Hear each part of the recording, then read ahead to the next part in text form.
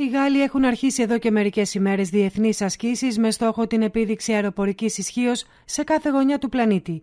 Έτσι έχουν προγραμματίσει ή ήδη έχουν διεξάγει ασκήσεις στην Ινδία, στην Αίγυπτο, στα Ηνωμένα Αραβικά Εμμυράτα και συνεχίζουν.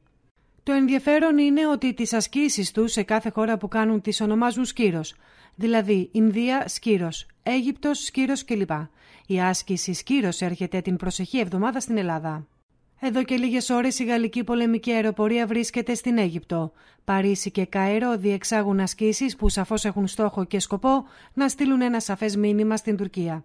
Η άσκηση είναι πολύ σημαντική σε μια χρονική περίοδο που η Αίγυπτος μετατρέπεται σε περιφερειακή δύναμη.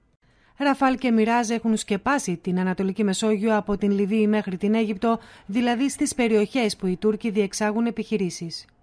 Οι ασκήσεις αφορούν κοινές προσπάθειες των δύο χωρών να ενισχύσουν την στρατιωτική τους συνεργασία με τρόπο που θα συμβάλλει στην ενίσχυση των δεξιοτήτων μάχης και της επιχειρησιακής λειτουργίας των μάχημων μονάδων τους στο άκρος επικίνδυνο ναυτικό πεδίο της Ανατολικής Μεσογείου.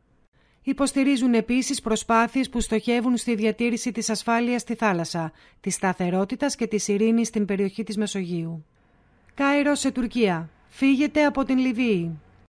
Και όλα αυτά την στιγμή που ο επικεφαλής της Επιτροπής Εξωτερικών Σχέσεων της Αιγυπτιακής Βουλής των Αντιπροσώπων Κάριμ Άμπντελ Κάριμ Ντάρβις κάλεσε την Τουρκία να συμμορφωθεί με τις αποφάσεις της πολιτικής συμφωνίας της Λιβύης. Η Άγκυρα υποχρεούται να συμμορφωθεί με τις διεθνείς αποφάσεις, να αποσύρετε τώρα μισθοφόρους και στρατό από την Λιβύη. Ο Αιγύπτιος βουλευτής ανέφερε ότι αυτό θα επέτρεπε στους Λιβύους να διαχειριστούν τις υποθέσεις τους μόνες τους μακριά από ξένες επεμβάσεις. Ευχαριστούμε που μας παρακολουθήσατε. Αν σας άρεσε αυτό το βίντεο μπορείτε να κάνετε like και εγγραφή στο κανάλι μας για να λαμβάνετε πρώτοι όλες τις νεότερες εξελίξεις. Μην ξεχνάτε να μας κάνετε σχόλια με την άποψή σας, καθώς η γνώμη σας είναι πολύ σημαντική για εμάς.